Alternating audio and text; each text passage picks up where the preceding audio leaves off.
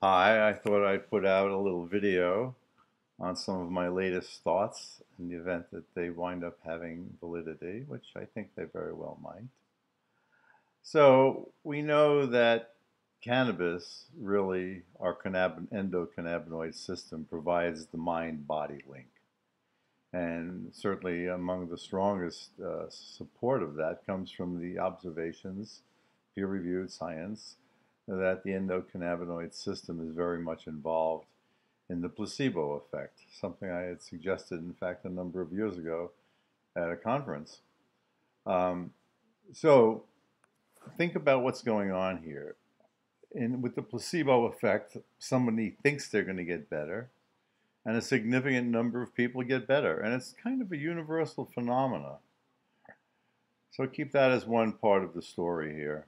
The other thing is we know, if you've watched any of my videos and followed any of my thinking, from far from equilibrium thermodynamics, flowing energy and mass has the ability to organize matter. And that happens in a distinct fashion where you always wind up producing oscillations. It's kind of like our political system, tug of war. Doesn't really go very far most of the time unless everybody rejects the existing status quo in any event, um, biologically speaking, the same thing happens on a subcellular level. There's always oscillations going back and forth, things that activate and things that deactivate and things that generate free radicals and things that compensate, always as life tries to survive. That's, that's what's going on here at all the time. And one of the hot areas, of course, in modern biology are stem cells. So what are stem cells? They're cells that have a embryological, depending on which stem cell you look at, they, they can go back as far as being what's called totipotent, where a cell can become any other type of cell and therefore potentially any kind of tissue or organ.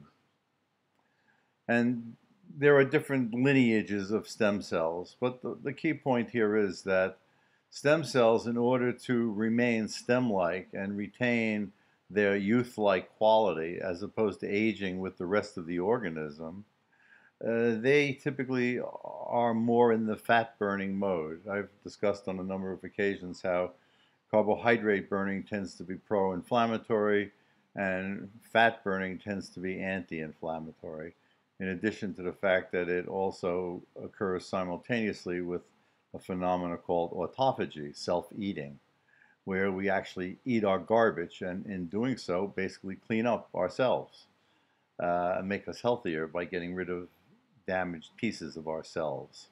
So stem cells can do two things. They can either replicate and make more stem cells or they can be induced to differentiate so that under those conditions the stem cell forms another stem cell and it forms a differentiated cell. So this is how you can make, for example, replacement uh, myocytes, cardiomyocytes, heart tissue, or bones, or blood, or anything else, uh, nerve cells. And we know that the endocannabinoid system regulates neurogenesis, the production of new nerve cells in the brain, as well as plasticity, the making of new connections, and the pruning of ones that are no longer used. So what I'm getting at here again is that dynamics, the flow of things, includes the flow of new cells that are replacing dead or dysfunctional cells.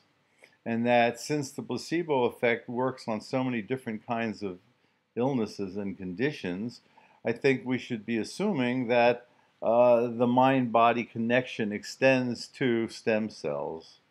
And in support of that, one of the things that's going on with a stem cell when it's stem-like is it has CB2 receptors on it, which promote fat burning. And a cell that's burning fat isn't making as many free radicals and therefore not aging as quickly, and hence that's how the stem cell retains its youthful vigor. So, when the stem cell has to differentiate, though, it now has to do that in a fashion that uh, allows for it to do so in, in a protected fashion.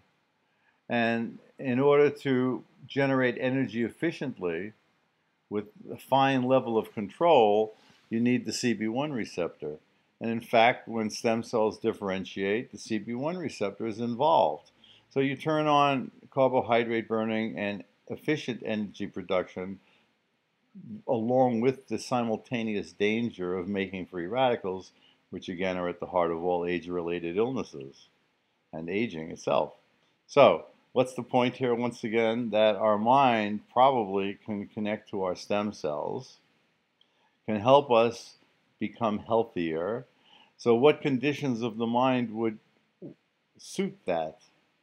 And my suggestion is that the more we make our minds thermodynamically consistent with the creative nature that has made us, as we understand what that means in a living system, and then use our mind as the filter so that more of our time is spent uh, constructing ourselves rather than destroying ourselves with the negativity of tension and the free radicals associated with negativity Instead, we generate a mindset that both within the individual and between individuals on a social level create an altered environment where our mind-body connection becomes more manifest.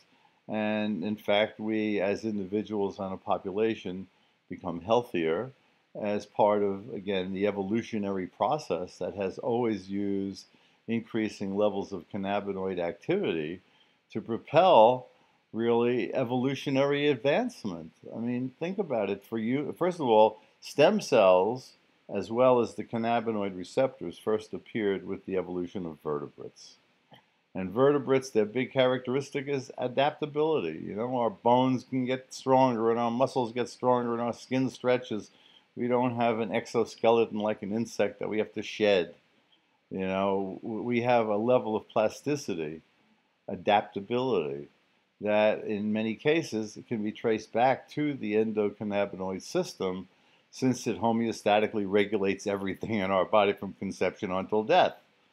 So there's a bigger picture is what I'm getting at here that remains to be explored and you know I've got a little glimpse into something that seems very interesting so I'd like to share it with others and see you know what we can all do together by walking down some interesting paths. So have a good day. Bye.